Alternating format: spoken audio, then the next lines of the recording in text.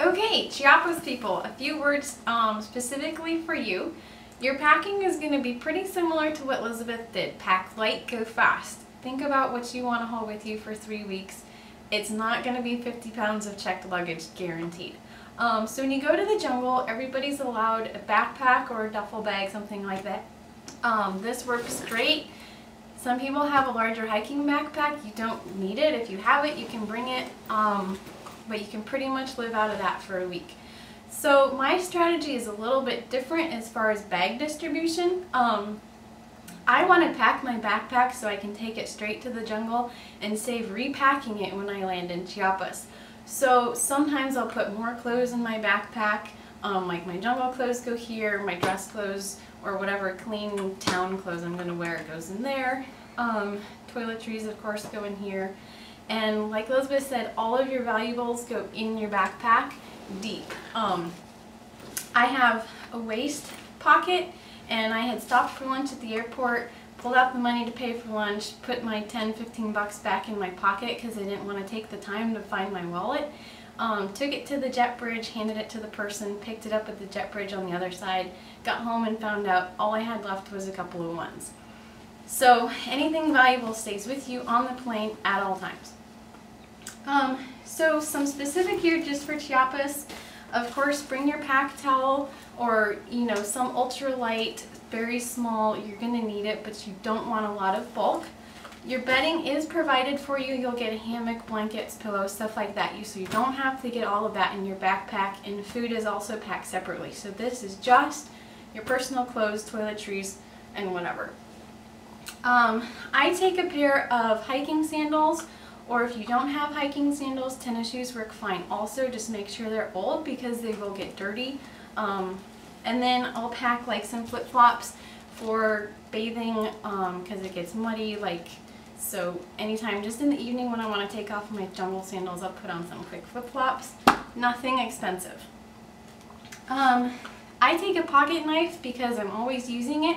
If you don't have one, you don't have to buy it all the guys on the team will have a pocket knife, so don't worry girls. Um, but I usually, I like to bring my pocket knife and it's a pretty decent one.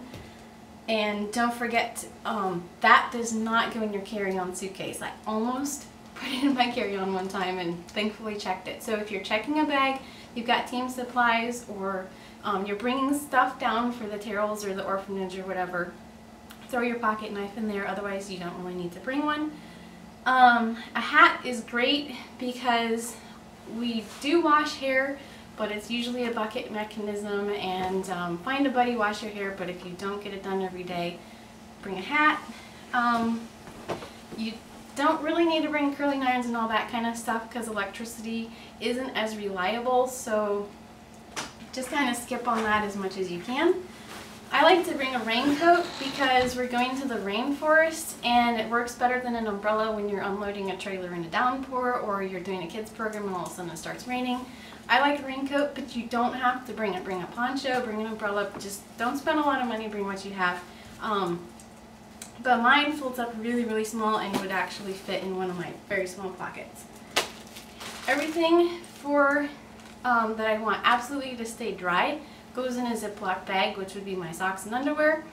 Um, I also have my iPad mini, and although I don't like to take a lot of electronics, this is my Bible, my journal, backup for all of my photos while I'm out there. Um, it's a dictionary, it's all the books I want to read. Um, so this saves tons of space as far as packing stuff. It also goes in a Ziploc bag. It does rain a lot out there. It's not constant, but it does rain a lot, so keep things dry. And then, of course, pack your liquids in Ziploc too, because you don't want your shampoo floating all over your jungle clothes and you have nothing left. Um, deodorant does not count as a liquid, so you can pack that separately. That is required if you're on my teams. Um, toothbrush and toothpaste, pack that on the plane. You'll definitely want it.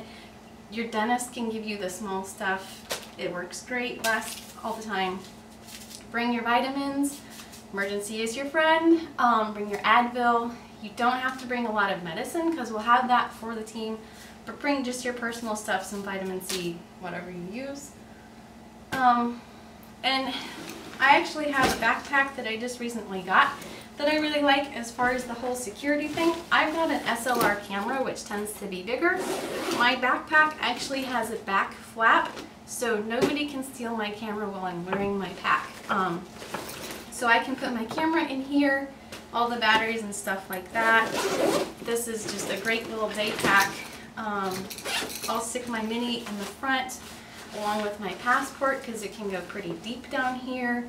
I can put my water bottle on the side and then I still have um, an upper pouch that I can get all of my toiletries in the Ziploc um, and anything else that I need can just go right on top. So super handy. This is another backpack idea if you've got some expensive stuff that you don't want stolen, bring that. Um, and this one actually conveniently has a rain guard on the bottom that you can just pull over. So basically, um, headlamps, flashlights are great. Headlamps are nice because they're hands-free for washing dishes, outhouses, um, stuff like that. If you don't have one, don't buy it. Bring a good flashlight.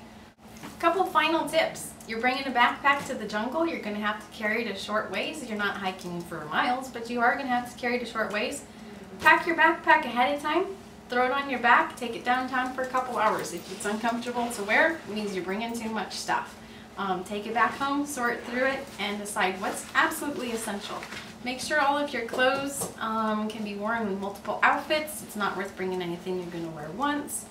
Um, and as far as the amount of clothes that you need, I usually take a clean shirt for each jungle day, two to three pairs of capris or pants.